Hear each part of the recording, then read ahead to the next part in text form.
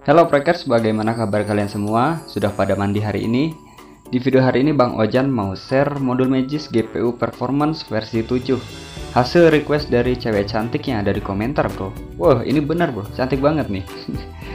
Dan dari subscriber setia Bang Ojan Yang selalu nonton dan selalu komentar di semua video. Modul Magis yang bakal di share ada dua modul. Jadi silahkan kalian duduk manis Siapkan air gula Hibernate dulu aplikasi Whatsappnya Siapkan sampurna kretek dan lanjut.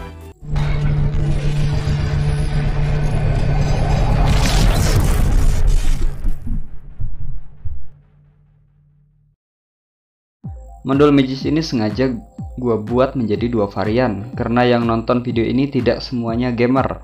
Ada yang user sosial media, ada user editor, dan ada user sabun. Yang nonton video di channel ini 76% bukan subscriber dan 23% subscriber. Yang subscribe nggak ada seperempatnya dari yang nonton. Pada ke mana ini bro? Apa konten yang gue bikin memang gak bermanfaat? Ya mungkin seperti itu. Apakah perjalanan Bang Ojan harus sampai di sini aja? Nanti dah gue siapkan sesuatu yang menarik untuk yang sudah setia mendukung bro.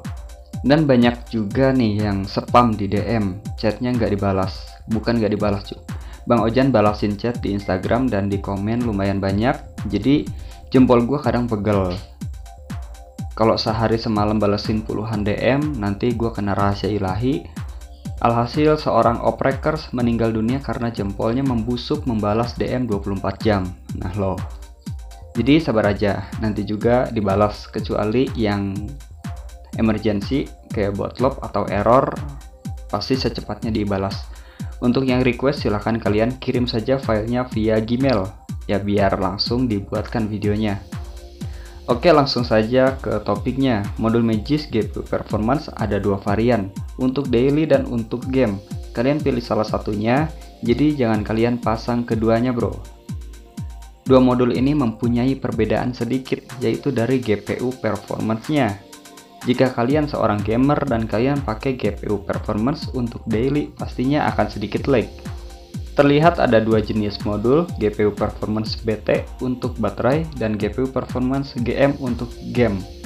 Jangan di skip dulu, selalu bijak untuk menonton video untuk menghindari bug error atau sebagainya, karena ketidaklengkapan informasi yang didapat bro. GPU performance ini tidak bentrok dengan modul Magis apa pun terkecuali dengan modul Magis GPU Turbo. Sisanya bisa kalian gabungkan. Jika ada yang bertanya, Bang bentrok nggak sama FDE? Bang bentrok nggak sama NFS? Simak yang gue bilang barusan, hanya bentrok dengan modul Magis GPU Turbo Boost, sisanya aman. Noh, udah, gue udah dua kali ngomong. Sebelum kalian install GPU performance terbaru, Pastikan kalian sudah melepas GPU turbo atau GPU performance yang sudah kalian pasang sebelumnya. Ini adalah modul yang sekarang gua pakai.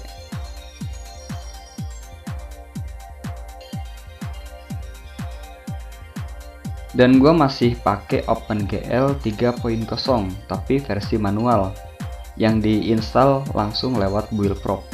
Selanjutnya kalian restart Androidnya bro jika sudah nyala, kalian pasang GPU Performance versi 7, pilih sesuai selera kalian.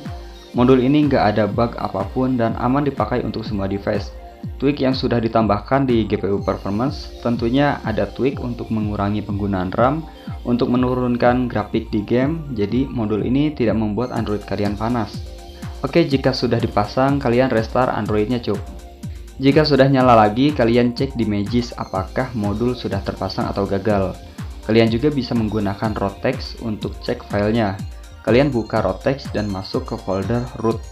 Kemudian kalian pergi ke data ADB modul. Kalian akan melihat tiga baris script yang sudah berjalan secara otomatis. Selanjutnya kalian bisa tes game atau tes stabilitasnya. Gue menggunakan thermal throttling bukan tes berapa speednya. Katanya sih banyak yang bilang GPU performance ada yang mengalami panas berlebih. Di gua normal dan aman, stabil juga suhunya bro. Cara tes paling berpengaruh dengan menggunakan Antutu 3 dimensi, karena aplikasi ini untuk tes grafik. Kalian perhatikan angkanya sebelum gua tes dan nanti kalian lihat lagi setelah selesai tes. Gua mau infokan karena modul Magis ini mengurangi grafik di Android Jadi jika kalian bermain game dengan grafik tinggi akan mengalami glitch seperti pada gambar tersebut.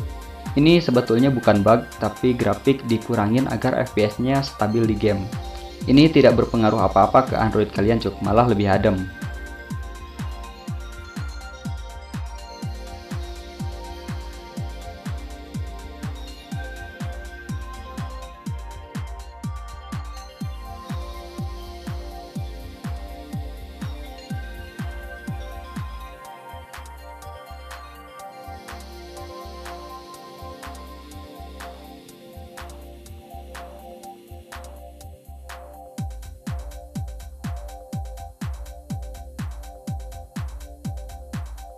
Sekarang kita tes untuk bermain game PUBG. Sebenarnya gue udah jarang banget main game ini karena untuk bukti aja, jadi gue buka.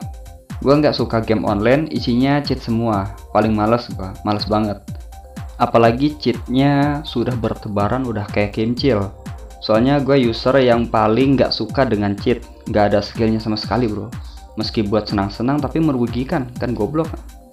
Oke, sudah cukup lengkap apa yang sudah Bang Ojan jelaskan. Semoga saja kalian paham. Untuk yang mau bertanya, silahkan kalian komen saja di bawah. Yang mengalami error, silahkan DM saja di Instagram. Gua pamit dulu, mau mandi. Sampai ketemu di video selanjutnya. Bye-bye.